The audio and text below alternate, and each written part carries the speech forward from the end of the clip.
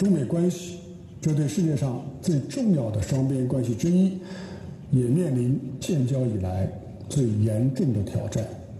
中美关系如何才能拨乱反正，重回正轨，真正实现长期健康稳定的发展？我想重点谈三点意见。